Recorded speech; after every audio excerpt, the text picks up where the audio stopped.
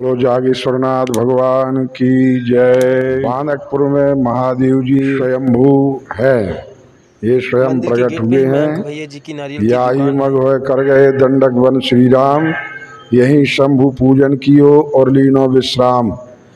त्रेता युग में भगवान रामचंद्र जी जब वन के लिए प्रस्थान किए तो यहाँ से होते हुए दंडक वन के लिए गए। तो यहाँ पर भगवान श्री रामचंद्र जी ने शंकर जी का पूजन किया एवं रात्रि में विश्राम होने के बाद दंडक वन के लिए प्रस्थान किए। ये त्रेता युग का स्थान है।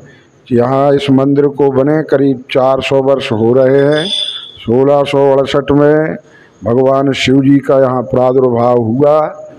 नागोजी राव बाल, बाल, बालाजी राव चांदोरकर द्वारा मंदिर का निर्माण किया गया। उन्हें भगवान स्वप्न, शंकर जी ने स्वप्न दे कर के बताया कि मैं यहाँ हूँ और मंदिर का निर्माण यहीं होना चाहिए। अमृत कुंड नाम से एक झरना है, जिसमें एक इमरती नाम की बच्ची डूब करके खत्म हो गई थी, जिसे भगवान शिव के समक्ष रखा गया। एवं एवं नमः शिवाय का भजन 24 घंटे किया गया, जिसमें आठ घंटे में ही बच्ची जीवित होकर के जल की इच्छा प्रकट की। तब लोगों ने उसे जल पिलाया, इसलिए इस अमृत कुंड का नाम इमरती कुंड पड़ा। यहाँ पर लोगों की बहुत बड़ी आस्थाएँ जुड़ी हुई हैं।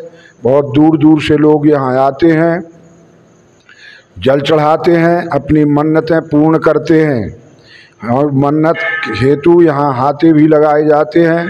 पीछे हाथा लगाने का मन्नत लेकर के एवं लौटाने के लिए भगवान शिव उनकी मनोकामना पूर्ण करते हैं, तब हाथी लौटाए जाते हैं। और यहाँ बहुत बड़ा मेला भरता है, जिसमें सोमवती अमावस्या, बसंत पंचमी, महाशिवरात्रि के मेले यहाँ विशेष भरे, भरते हैं। देखने योग्य एवं भगवान शिव जी उनकी सभी की मनोकामना पूर्ण करते